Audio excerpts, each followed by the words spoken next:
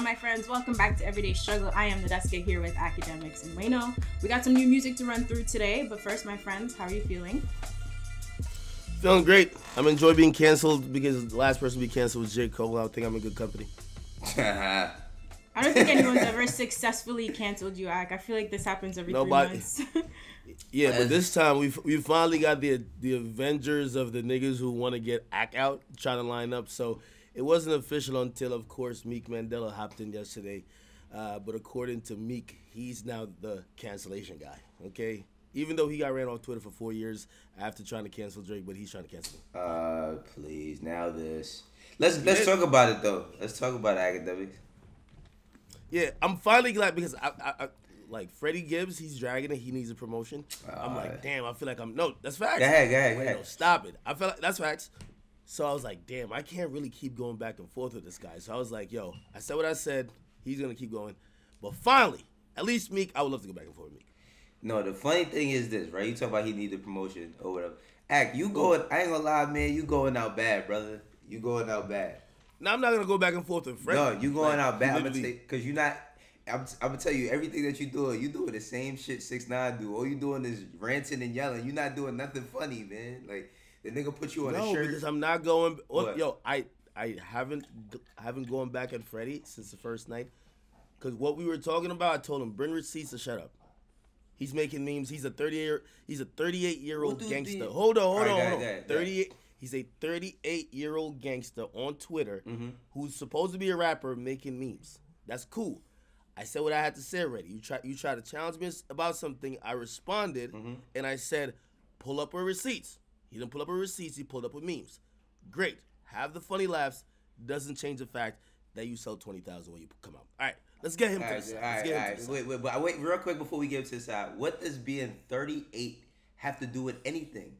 like what, because no, no, no. What does that have to do because, with anything? Hold on, I'm gonna tell you why.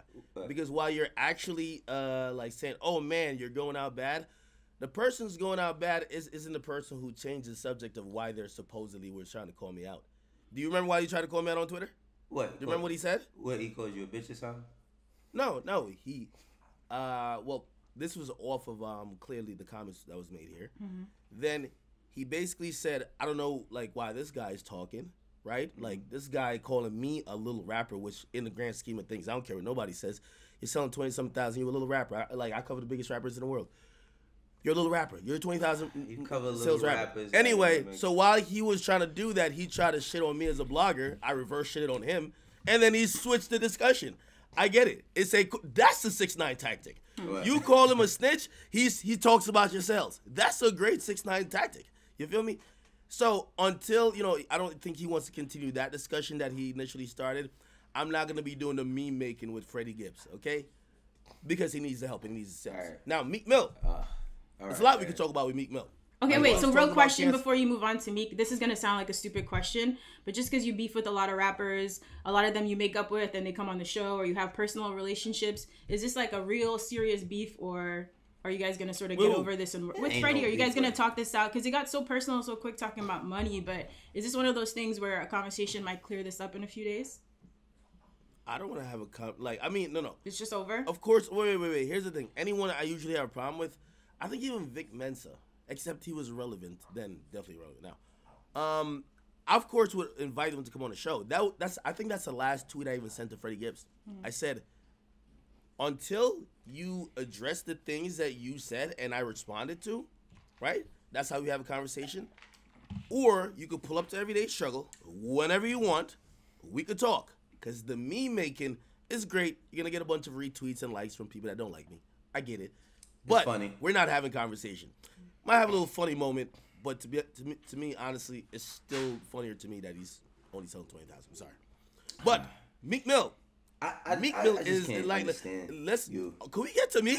God yeah, let's get to Meek. Let's get to Meek. Go ahead. Meek is the person who somehow he thinks he's a hip hop president.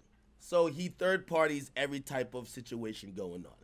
Shit don't got to do with him. This is exactly why he's talking about canceling. He's the exact reason why he got canceled his damn self when he went at Drake. Now I'm not comparing myself to Drake, but I'm just showing you this. Uh, this guy has a pattern of just jumping. What, what, no, no. How, how did he get was canceled? on Twitter. How did he get canceled? Wayno, stop, bro. He got ran off Twitter for four years. He got if ran off that's Twitter? not canceled, if that's not canceled, what is? Meek is a guy who used to be talking numbers too. Uh, by the way, we could talk. But niggas about live in real life though. All right, so go ahead. Ever since his collab with Drake, which peaked at six, the nigga hasn't had a, uh, another song that's been in the top fifty. He dropped a song with, with Justin uh, Justin Timberlake, flop. Dropped another song by himself, flop. He did also Black Lives Matter song, same as Lil Baby. Lil Baby song peaked at two. His song flop. All I'm trying to say is that Meek is in no position to think he's like some hip hop authority or king that he could cancel anyone. Regardless of the canceling shit. Wait, wait, wait. Re- all right, so regardless to the canceling shit, regardless, you talking like Meek is not a successful artist at this moment though. Like Oh, even no. with even with saying No. that, even if even if you say that he dropped a song here, a song there, a song there, and they didn't do well, they flopped, whatever you want to call it. You talking like he's not a successful artist. Well, well, Wayno, see, this is why this is why I like to stick on topic. Yeah, let's stick on topic. Meek Mill, on, topic. Meek Mill mentioned, "Yo, Ak, you're canceled." And my, the first thing that came to mind, and what a lot of people also say, who is Meek Mill to cancel anyone? like, yo, th- that's the point. Meek, you can't cancel anyone. That's just that's just the point. You know what I mean? Like, you're not that. Like, I don't. I think hanging with Robert Kraft, and you know, of course, I, I love everything he's doing for prison reform. Don't. I, I'm not that type of person who would, uh, you know, take shots at that. But like, yo, not because you popped the wheelie and and unfortunately got locked up and you came back. I'm glad you did. Means you're now like, you know, like you are actually living up to the title of Meek Mandela, where you say, yo, he's canceled, and everyone's like, okay, thank you for the decree, King. Well, I don't believe in the cancellation shit as a whole with anybody doing it, but at this, I'm, I'm just saying it's like you you you speaking as if like this nigga is a, a nobody rapper is like like the way you try to spin it on Freddie Gibbs or whatever. You fucking with the all the 20 20,000 sales. Now look, yeah, he dropped a few records that didn't do well, but you acting like like that means His last, his last four. His last four. Well, this didn't Last just start four- right af- now. I after feel like you and Meek have been going at it for a minute, right? Before it even Hey. became a public thing, I feel like you guys are going at it in DMs and through third parties. So I think this is a deeper issue. You see, I'm finally glad he would tweet me directly because prior to this, Meek Mill, I, I always called it a digital jump in. Like when he thought it was too big to um, uh, talk to me because I'm a blogger directly, but he still wanted to, you know, feel like, you know, whatever. He DM'd me with like 49 niggas from the, the Chasers to, to, you know, like basically tell me whatever. Anyway, I'm just glad he's tweeting at me now. I still welcome him to come on the show. You feel me? All that, everything he's saying on Twitter, we would love to, I would love to discuss in depth. Um, for all of these guys though, like you know, making Twitter memes and all that stuff is funny, and we know the, the very popular name that goes with Twitter and, and Meek. You could come on the show, we could talk. I'm. This is an open invitation. It's Freddie Gibbs, Meek Mill. You're gonna win the Twitter war. I'm not the most liked person over there, okay? But let's have a conversation because there's no more rapper in hip hop that's more hypocritical than Meek, and I would love to talk about it. What do you want? I love that word hypocrite. yes. You love that word hypocrite. All right. Well, Ak, as long as you good, you always seem good. That's the thing. Like you said, oh, always Oh, no, I'm Nah, unbothered. you don't care about knows being he's in the basement. Yeah, but No. we, me and Wayno can't laugh at any of the memes because then we're disloyal as fuck. I'm laughing at whatever I want to laugh at. The fuck.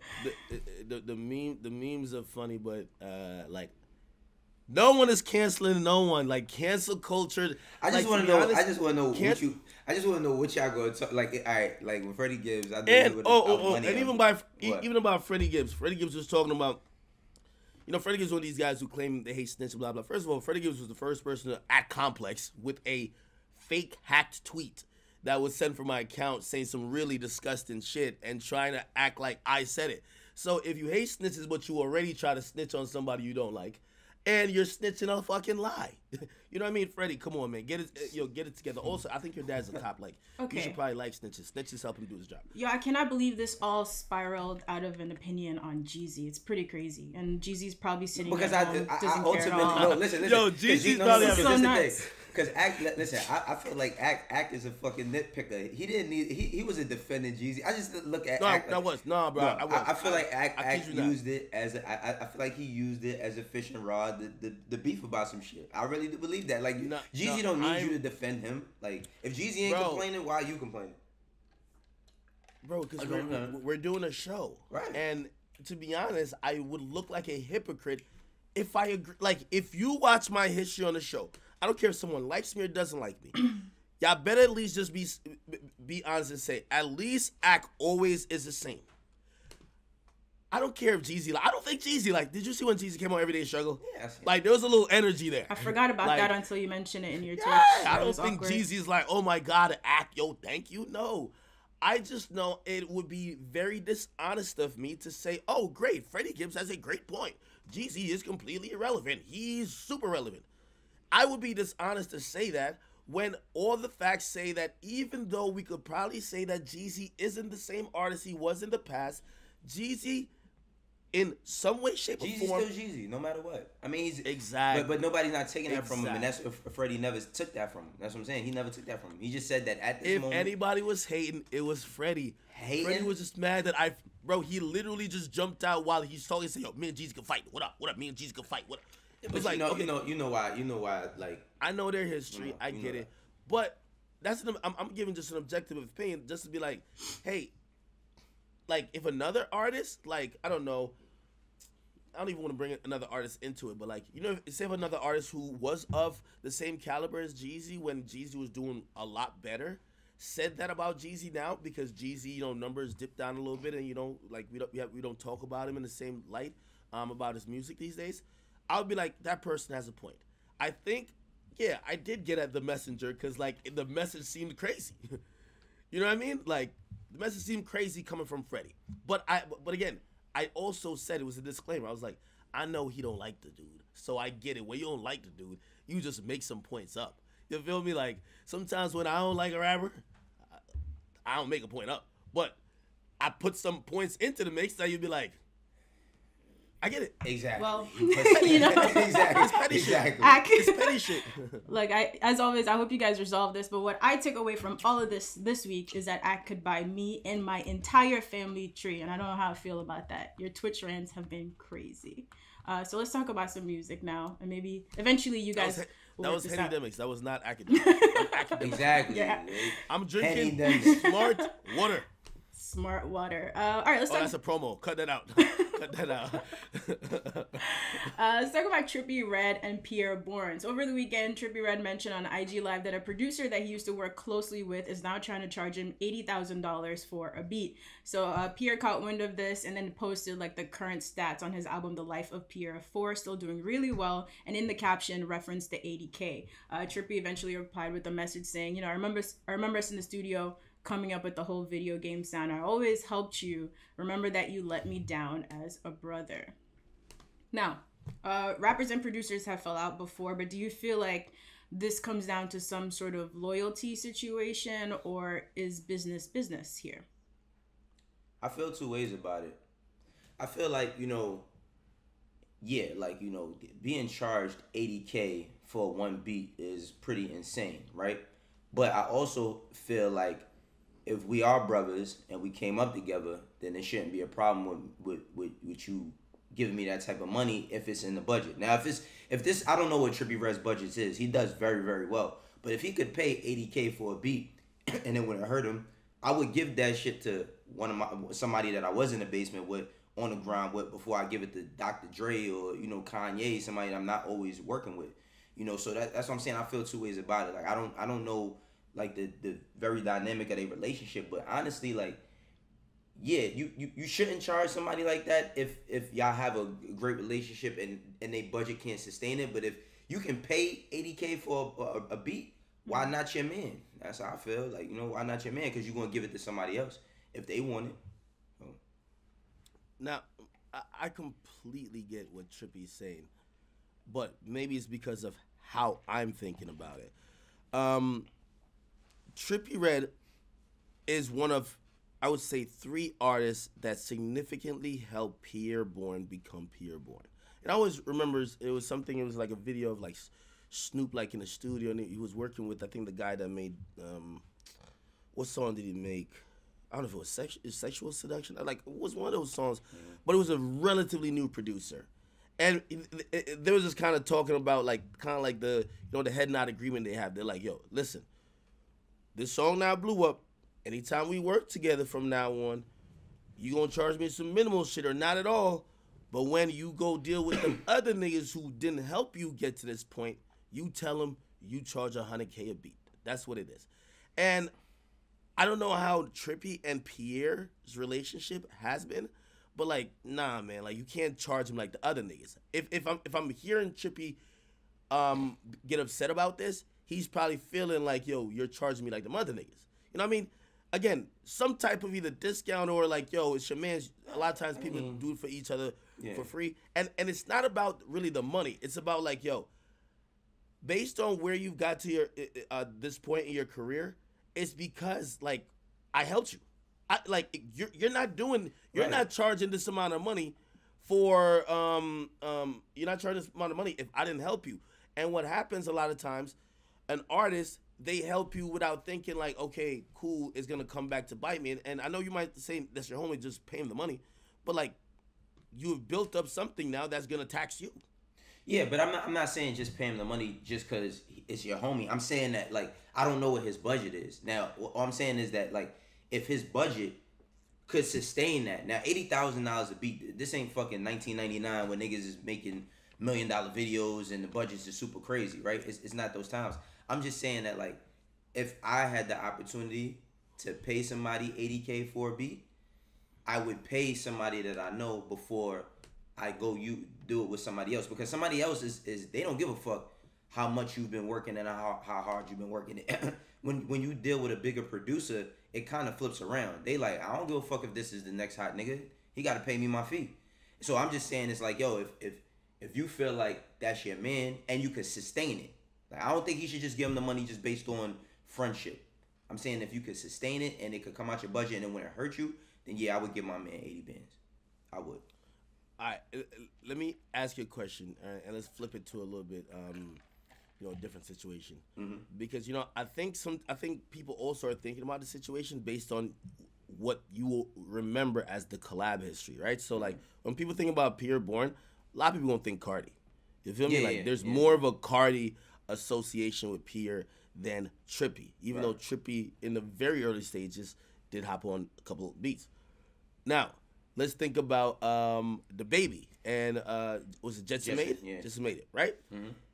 If do you think? All right, cool. He's now a big producer. Say the baby's next album's coming up, and he says to the baby, "Yo, I ain't gonna lie to you, bro. Fuck with you and everything." And by the way, they used to work.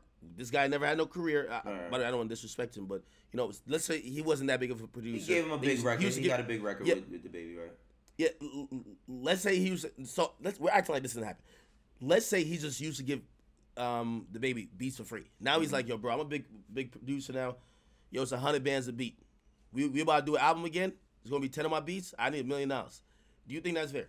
Or not even do you think it's fair, but do you think that that probably won't sour the relationship, knowing how much you also helped him? Yeah, I think no, definitely could sour the relationship. I just feel like it's it's all in the approach. Again, I don't know how close they are if they talk like that. If if they they talk about being brothers, like I talk people that I consider my brother, like not just using the term as like how we use nigga. People that I consider my brother, I talk to them every day. So if it's something like, yo, I got this fucking budget, nigga, let's go in, then yeah, we gonna do it that way. Now if you just if we don't speak at all and you just come around talking about some, yeah, man, like it's, it's gonna be this, then yeah, I'ma feel away. But if there's no transparency and we not talking all the time and you not telling me how much you're leveling up. I, I, I just I, I believe in this. Like, as I grow, we should grow together. Like you said with the Snoop situation, yeah, I'm gonna help you out, and then you could charge them other niggas. But all I'm saying is, is this: even if I go charge them other niggas, I still should get like a substantial amount, whether you help me or not. Like you get paid based upon the work that you do. And all I'm saying is like a lot of times with artists, they try to minimize the producers and, and and this is not specifically for Trippie's situation. I'm just saying in general, like a lot of artists try to minimize the producers. Oh, don't pay that nigga enough. And being a producer is way harder than being a rapper. Rappers got rappers got to give out way less verses for free than than producers got to give out beats. Producers might got to give out fucking 150 beats before they catch one that really goes. Rappers could catch one fucking record and this shit be on TikTok for a week and now they get a million dollar deal. You know what I mean? And, that, and and that's the other side of it. I'm just saying it's like producers are underappreciated and if you my man and I fuck with you like that, I'm gonna give you the bread. Now, if you come at me on some, if he if he if he came if they ain't been speaking and he hit him up and Pi'erre was like, "Yo, dog, I ain't doing that shit unless it's 80," then yeah, Trippie got all the right to feel how he feel. You know what I'm saying? I also think about just like you know, and, and, you're you're a manager. You deal with a lot of you know contracts and producers. You manage mm-hmm. producers. Maybe Pi'erre could have made a better approach to it. Like what, what that 80k is for people to understand. That's a that's a, an advance fee um, for for pretty much what the record's gonna make. Just give him more points on the record. Right, you feel me? Like yo, hey, yeah, yo, but, yo. But, since we work together and I'm I'm now Pi'erre, yeah. right, on a production level, bro let, let me get this splits in terms of royalties. Yeah, yeah. You know what I mean? Rather no. than you know, oh, because well, rappers always think eighty thousand. You know what I mean? But they won't the care day, if the record uh make that much but, but, and and they give it back. That, the thing is, Ak two, like my thing is this is like at end of the day, it's their budget, but it ain't really their money. You know what I mean? Like it, it, it's not really your money. It's money that got to get spent anyway. Now, yeah, he could have worked on different terms, but honestly, these is conversations that we not even supposed to know. I just feel like, all right, if Trippie felt the way, why even go? Like, if that's your brother, why even go public with it? You know what I'm saying? Like, you you you should just certain things that you should just keep internally because maybe if it was kept internally, it could have been worked out a different way. You know, once you start going on, y'all never to me, y'all never really was as tight as you thought it thought it was because if he charged you whatever he charged you, that's something that should be all behind the scenes. We shouldn't be knowing about shit like this. Mm-hmm. Let's see if they work it out then. Um, we have a few more minutes left. Maybe we can run through a couple songs.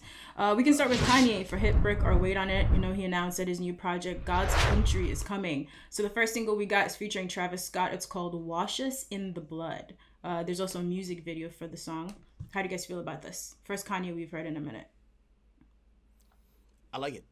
Uh, um, it has a weird bob to it. I think when I first watched the video, because you know he dropped it with a video, and the video was just kind of random clips of street fights, twerking, GTA video. I was like, what the fuck is this?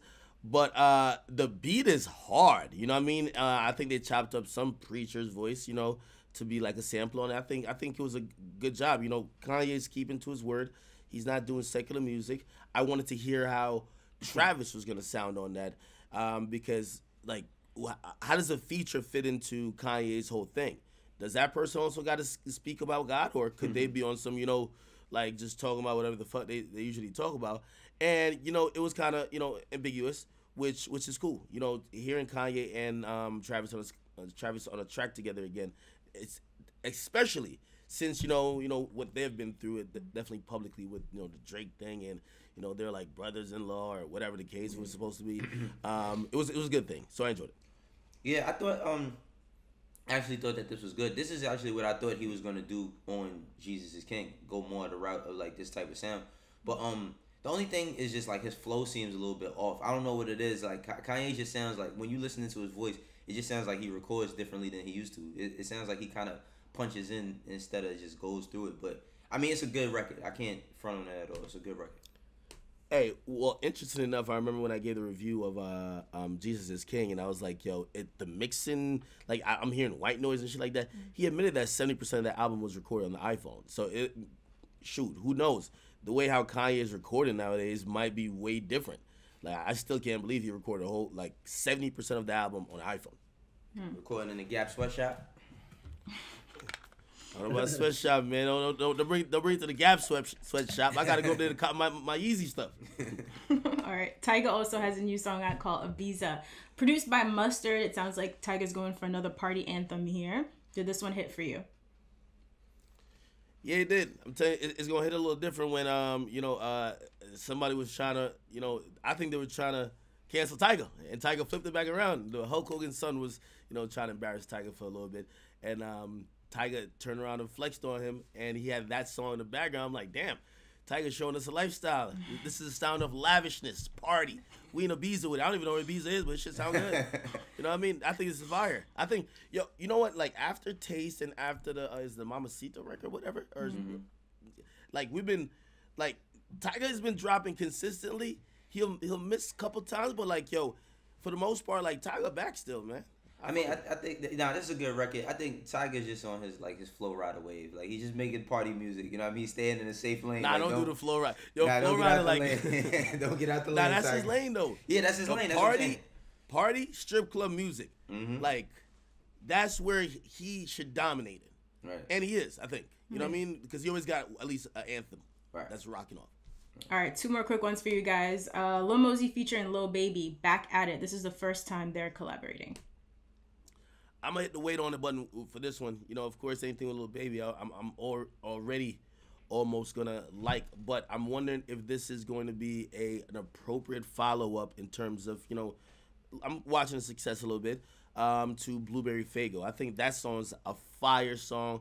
If you ask me, if we're even considering whatever we're going through now, a summer, that would be a song that's a contender for some song of the summer. Isn't it right? top ten? And It's top ten. Right? Say it. It's top ten. Oh yeah, it's top ten. Yeah. By the way, clap it up for Mosey because trust me, like you know, I I, I be telling people it's not personal. I call it spade a spade. I try to cancel. Him. I, I was ready to call him done, and and he said, "Fuck that, yo." When you when you get a hit like that, undeniable, you back in the game, and um, yeah, uh, this, this record, like I'm just hitting the wait on it button, but you know it's not a bad record. Yeah, I say wait on it too, cause honestly, I just went to it for Baby's verse. So. I say wait on. Oh my god! I am just keeping it a hundred, man. We keeping it. Hey, Virgils, that's man. a power. That's a power, Lil Baby, where you automatically just go listen to see if like, yo, did he do it again? Like right. that's the type of thought. Yo, did yo the baby hit another three? It's like some Steph Curry shit. All right, the last one is from 6lack. Uh, I saw that recently you were kind of impressed by his streaming numbers. He dropped an EP called Six Piece Hot. He has a song on there called Know My Rights featuring Lil Baby. Yep, yep. No, I like this. I like this. Um, um, I'm gonna say hit just because I like it. Like I, I like everything 6lack has done in the last like I want to call it a month, month and a half. He he had an amazing, genius rollout. I haven't seen a rollout executed that much where nothing looked corny, mm-hmm. nothing looked forced, and uh, this whole six piece rollout it was like amazing. This particular song, I like it a lot. I don't know if I know when we say hit because somebody somebody question hit bricker wait on it if like some of these songs you just really like, but you know it ain't gonna be no fucking hit. Uh, I think this song is gonna work. So I'm just That's, gonna say mm. hit. All right. That's because the people determine what a hit is, and hit don't always gotta be top ten on Billboard. So yeah, it still can be hit brick or wait on it. See, we we ain't gonna go down this wormhole again. I already see the wheel like, spinning in Axe you, you, head. You see, yeah. you see it, right? You see it going. But seriously, I mean, I think that we do have the perfect term brick hit or wait on it because a lot of the hits are determined by the people. We determine what we feel is the hit out of this record. So whether it reaches the top of what people define as a hit or not, you know, we if we like it, it's a hit. Mm-hmm. You know? So well, uh, 6lack also dropped the hot sauce with this project. Like I said, it was really dope, dope rollout. And then he put a bunch of links in his black box for fans to support black businesses and vote and all that kind of stuff. So well executed, especially considering everything happening right now. We got to salute to Justice and them over at LVR because mm-hmm. that like they are doing great work. They're My genius African work, brothers. Know, from him to Mm-hmm. Yes, to Summer Walker. You know what I mean? Like they doing great work over there. They snatching. I tried to sign an artist looked up. Them niggas caught it. like they doing they doing great work over there. So salute to my guys for real. Young moguls, man. All right, let's end with a little bit of a fun fact here. So Kendrick Lamar's "Good Kid, Mad City" has made history, officially become the longest charting hip hop album of all time. 400 mm. weeks on the Billboard 200, mm. which is really dope. I think it's currently sitting at 100, but obviously it came out years ago. So really incredible. Shout out to Kendrick for that one. Still waiting for some new music whenever he's ready eight years ago at that. Just goes to show you how great Kendrick is. You know, we get people like Akademiks sometimes questioning Kendrick's greatness, but what? You know, that's another story. I'm questioning you know? his whereabouts, not his greatness. I'm saying where a nigga at? He's questioning a lot of stuff. The only thing I would question, question about his rapping ability. No, stop it. The only thing I would yeah. ever question is if he's the goat, because the only goat I know is named Aubrey Graham. Only? Maybe Adonis Graham too, but but but. Oh, nah, but man, salute to Kendrick and TD. That's that's crazy. That's that album's eight years old, still in the top two hundred. That's crazy. Mm-hmm. All right, guys. Um, we got to roll, but just uh, we haven't mentioned before. Obviously, the holiday weekend is coming up. Although it's a weird Fourth of July, I'm not sure how proud everyone's feeling of America at this moment that we're living through. But we are off all of next week, and we'll return the following week. I never know that date off the top of my head. So tomorrow is our last episode. Yeah, let me cue up the uh, comments. Uh, what another break? Yeah, niggas, y'all going on break again? These niggas take more break than anybody in the world. Yeah, they they gonna be on that. July 13th. Yeah, we've yeah we've in our defense we've had some unscheduled breaks because some just random shit, some unexplainable shit has happened. No pandemic, Akademiks going missing. You know what I'm saying? All types of shit. Yeah. it definitely was a break. Fuck you talking about? I, shit, I I was there for one of the days. I said, let's shoot. was like, no, let's just start at Monday. All right, cool. All right, July 13th. Thank you, Roger. We're going to be back on Monday, July 13th. So thank you guys for watching Everyday Struggle, and we'll see you here tomorrow on Complex. Canceling you, Ak.